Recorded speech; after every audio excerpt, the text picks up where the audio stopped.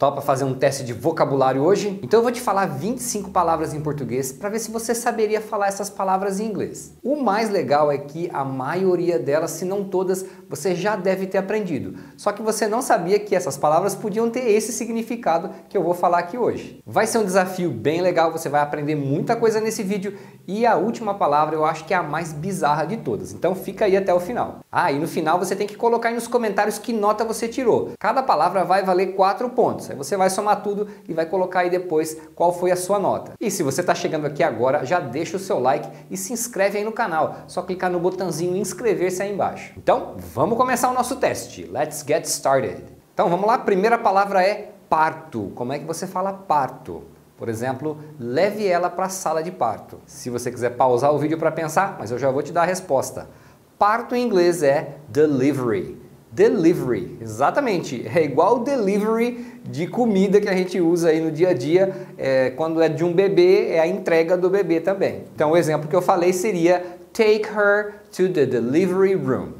Take her to the delivery room. Segunda palavra, desgastar. Como seria isso? A frase de exemplo vai ser essa: Pneus macios são mais confortáveis, mas eles se desgastam mais rápido. Então vai ficar Soft tires are more comfortable, but they wear faster. Soft tires are more comfortable, but they wear faster. É isso mesmo. Se desgastar é to wear. É o mesmo verbo que a gente usa para usar roupas, sapatos, também significa se desgastar. É, você pode usar para pneus, para roupa, qualquer coisa que se desgasta com o tempo. Terceira palavra é tabela. Sabe falar tabela em inglês? Todas as informações que você precisa estão na tabela abaixo. Então, como é que você falaria isso em inglês? Então, vai ficar All the information you need is on the table below.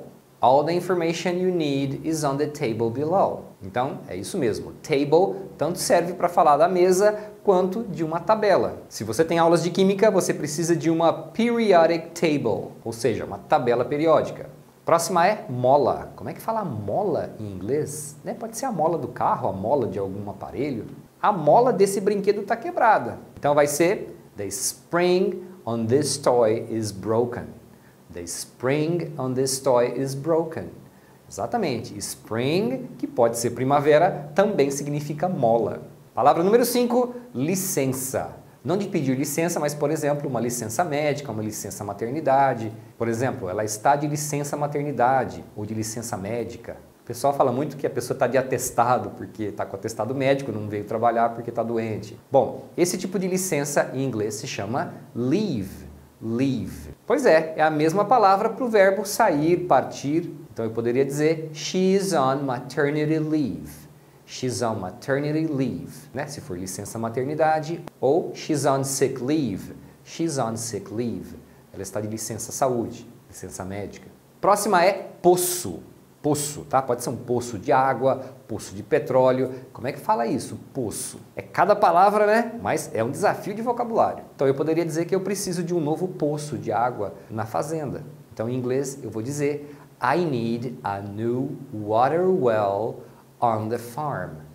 I need a new water well on the farm. Então, well, que é a palavra que você conhece como bem, né? Very well, muito bem, também significa poço, né? Como substantivo. Pode ser water well, um poço de água. Pode ser oil well, que é um poço de petróleo. Nossa, já pensou você ter um poço de petróleo? Palavra número 7, agendar. Como é que é agendar? Eu gostaria de agendar uma consulta com o Dr. Philip. Como é que você falaria isso? Bom, agendar em inglês é to book.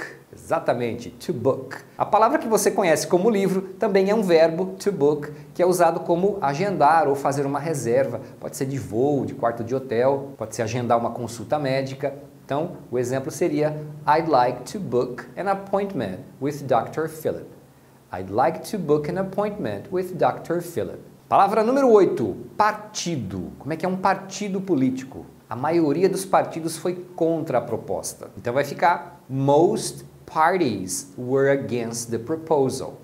Most parties were against the proposal. É isso mesmo. A palavra que você conhece como festa também significa partido, né? A political party é um partido político. Próxima palavra é espaço. Como é que você fala espaço? Sem ser space. É porque space é muito óbvio, você pode usar também, mas tem uma outra palavra muito comum em inglês que deixa o pessoal bem confuso. Poderia perguntar para você: tem espaço no seu carro para o meu amigo? É, já que você vai me dar uma carona, dá uma carona para o meu amigo também. Então, essa frase em inglês eu falaria: Is there room in your car for my friend? Is there room in your car for my friend? É isso mesmo, room, que você conhece como sala, quarto, significa espaço também. Pode ser espaço numa casa, num carro, em qualquer lugar. Então é uma palavra muito comum para se referir a espaço, né? Se você tem espaço na sua casa, tem espaço no carro, tem espaço em algum lugar para pôr as coisas, para as pessoas, enfim. Próxima é agradar. Como é que fala agradar? É difícil agradá-la. Como é que você falaria isso em inglês? Então vai ficar assim. It's hard to please her. É isso mesmo. It's hard to please her. Você deve conhecer please como por favor, mas to please também é o verbo agradar. E o macaco do carro? Bom, furou o pneu, você precisa pegar o macaco para erguer o carro e trocar o pneu. Esse macaco aí não é monkey, tá? Já vou avisando. E aí, você sabe como é que fala? Nós precisamos de um macaco maior para o caminhão. Então seria We need a bigger jack for the truck. We need a bigger jack for the truck. Então, Jack, que também é o nome de uma pessoa, né? É um nome próprio, Jack. Lembra do Jack e da Rose no Titanic? Pois é. Então, Jack pode ser um nome próprio, mas como substantivo comum é o macaco do carro, tá? Car Jack. Próximo é peça de teatro, né? Vai ter uma peça na escola, tem uma peça no teatro, esse peça, quando é de teatro, como que você fala em inglês? Nós estamos ensaiando para uma peça na escola. Como é que você falaria isso? Então a gente vai falar We are rehearsing for a play at school. We're rehearsing for a play at school. Então, play, que você conhece como verbo, brincar, tocar, jogar, também é um substantivo e nesse caso significa peça de teatro. We are rehearsing, é, nós estamos ensaiando for a play, né, para a peça na escola. E como fala demitir em inglês? Ele foi demitido por causa de assédio sexual. Então esse demitir é to fire. To fire, a mesma palavra para fogo. He was fired because of sexual harassment. He was fired because of sexual harassment. Então ele foi demitido, foi despedido por causa de sexual harassment, que é o assédio sexual. Próxima palavra é o ponteiro do relógio. E aí, como é que você fala os ponteiros do relógio? Por exemplo, eu pergunto para você, o que aconteceu com aquele relógio? Aí você fala, ah, o ponteiro das horas soltou. Relógio bom, hein? Em inglês seria, what happened to that clock? What happened to that clock? The hour hand came off. The hour hand came off. Yes. O ponteiro do relógio é hand, a mesma palavra para mão. Se você gosta de desenho animado, talvez você já tenha visto essa situação do personagem olhar no relógio e no lugar dos ponteiros ter umas mãozinhas assim, né? É comum essa piadinha aí nos desenhos animados. Mas é exatamente porque os ponteiros eles chamam de hands também. Próxima é lixar. Como é que fala lixar? Na verdade, tem duas situações aí, né? Tem duas palavras diferentes. Uma é lixar uma madeira, parede, e a outra é lixar as unhas. Então são duas situações diferentes. Se você souber qualquer uma, tá valendo os quatro pontos. Você tem que lixar essas tábuas primeiro. Então, nesse caso, se eu fosse falar lixar uma tábua, lixar uma parede, é to sand. Né? Sand, que você deve conhecer como areia, também significa lixar. You have to sand these boards first. You have to sand these boards first. Agora, se eu falar, você precisa lixar as suas unhas. Nesse caso, não é sand. Aí se usa a palavra file. Pois é, a mesma palavra que se usa para arquivo, que é file. You need to file your nails. You need to file your nails. E mercadorias ou produtos, como é que você fala? Sem ser a palavra products, que também está correto, né? Products mas tem uma outra palavra muito comum que você conhece também, se você vê, você conhece, só que você talvez não soubesse que tinha esse significado. A maioria das empresas já usa a internet para vender produtos, vender as mercadorias. Então essa vai ser assim: Most companies already use the internet to sell goods. Yes, most companies already use the internet to sell goods. Então goods são produtos, mercadorias. Um detalhe é que goods é uma palavra que tem o S. Parece bom, porque bom é good, mas bons não tem plural em inglês. É good também, né? Porque adjetivo em inglês não tem plural. Então, quando você vê goods, lembra que é uma outra palavra que significa produtos. E good, sem o S, é bom ou bons. Agora eu preciso de uma serra. E aí, um serrote? Como é que você fala isso? Essa é para a galera que gosta de ferramentas. Então, por exemplo, eu preciso de uma serra ou de um serrote, um martelo e alguns pregos. Né? Vou fazer um concerto aqui. Então, essa frase eu falaria I need a saw, a hammer and some nails. I need a saw, a hammer and some nails. Então, saw é um serrote ou uma serra, que é a mesma palavra usada para o verbo ver no passado. Né? Então, o verbo ver é see, no passado é saw. Agora, a saw também é uma serra ou um serrote. Próxima é jejum. Você sabe falar jejum? Você não deveria fazer jejum para perder peso antes de falar com o médico. Jejum é fast. Exatamente. A mesma palavra para rápido também significa jejum, fast. É por isso que breakfast, café da manhã, é o quebra-jejum, né? Até se fala de jejum em português, então daí que vem breakfast, né? Então não é porque você come rápido não, né? Porque você está quebrando o jejum que você estava durante a noite. Então o exemplo que eu falei em inglês seria You shouldn't go fasting to lose weight before talking to a doctor. You shouldn't go fasting to lose weight before talking to a doctor. Então quando você quer falar fazer jejum, geralmente eles vão falar go fasting. Aí coloca o ing no fast. Próxima é multa. Como é que fala multa? Tem duas palavras também, né? Porque tem duas situações. Uma situação é a multa de estacionamento. Se você parar aqui, você vai tomar uma multa. E aí, como é que seria isso? Então vai ser If you park here, you will get a ticket. If you park here, you will get a ticket. Então, ticket também é usado para falar de uma multa, né? Porque a multa, na verdade, é um ticket, né? um papelzinho que você recebe ali. Então, se for multa de trânsito, normalmente eles vão falar de ticket. Agora, se for algum outro tipo de multa, você vai usar a palavra fine. Exatamente, a mesma palavra que a gente usa para falar legal, bom, né? Fine. Quando você leva a multa, não é tão fine. Mas a multa chama fine. There's a $100 fine for littering here. There's a $100 fine for littering here. Tem uma multa de 100 dólares para quem jogar lixo aqui, para quem sujar essa área. E mosca, sabe falar mosca? Tem muito lixo aqui, é por isso que tem tantas moscas. There's a lot of garbage here. That's why there are so many flies.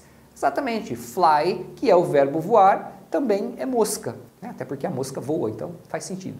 Amamentar. Você sabe falar isso? Já parou para pensar como é que você fala amamentar? Essa é para as mamães que têm um bebezinho aí, estão amamentando. E aí, como é que você fala amamentar? Por exemplo, poderia falar, ela está planejando amamentar por pelo menos três meses. Então, eu falaria, she is planning to nurse for at least three months.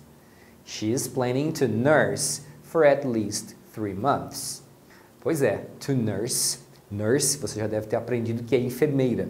Mas como verbo, to nurse também é usado para falar amamentar. Você pode falar só to nurse ou to nurse a baby, to nurse the baby.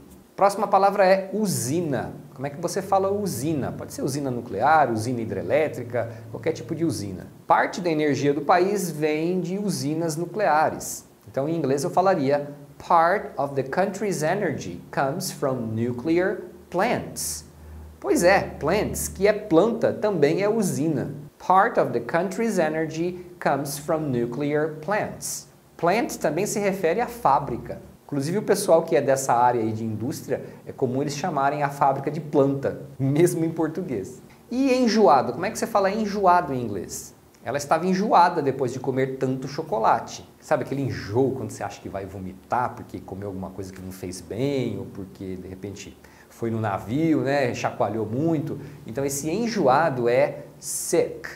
Exatamente, a mesma palavra para doente você usa para enjoado, né, quando você está enjoado do estômago. She was sick after eating so much chocolate. She was sick after eating so much chocolate. Pode ser também enjoado no sentido de você estar tá cansado de alguma situação e é comum eles usarem sick and tired, né? enjoado e cansado para dar mais ênfase. I'm sick and tired of the way you behave. I'm sick and tired of the way you behave. Eu estou cansado, estou enjoado do jeito que você se comporta. Próxima palavra é vontade. Como é que fala vontade em inglês? Contra minha vontade, eles vão se casar daqui a alguns dias. Então, em inglês, a gente vai dizer Against my will, they will get married in a few days. Against my will, they will get married in a few days.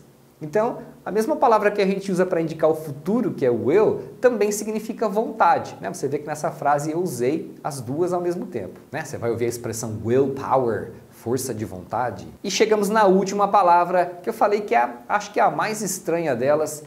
Como que você fala calo? Você já teve calo nos dedos, não é? A pessoa tem um calo ali que dói pra caramba calo em inglês. Eu falo para você, por que você não coloca suas botas? Aí você fala, ah, porque eu tenho um calo que dói demais.